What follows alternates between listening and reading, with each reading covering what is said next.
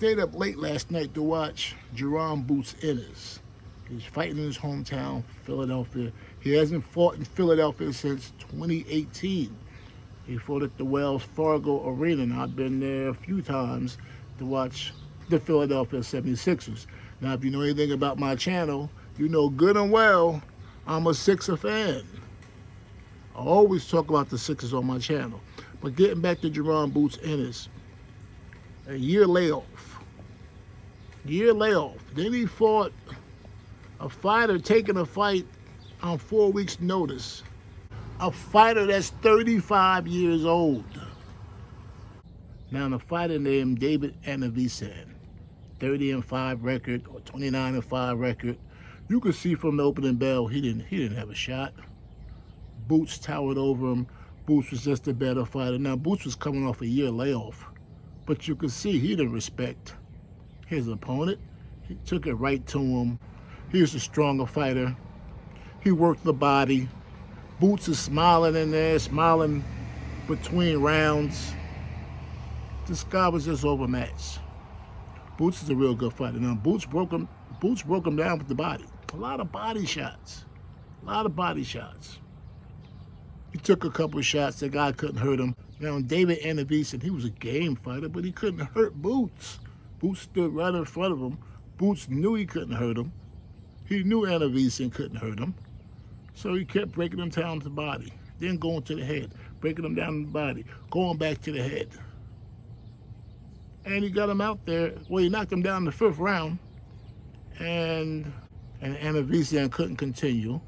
And he lost the fight. It was a TKO He couldn't come out for the sixth round. They waved the fight off.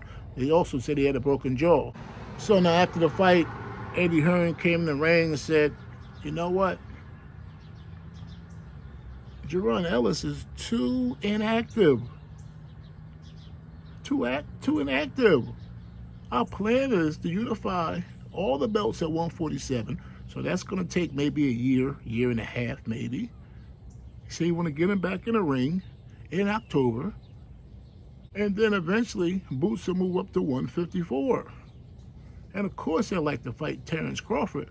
But first, you got to do the work at 147 to unify the belt. What I like about Boots, he's humble. Said he'll fight anybody. But he, there's a chance he could fight Terence Crawford.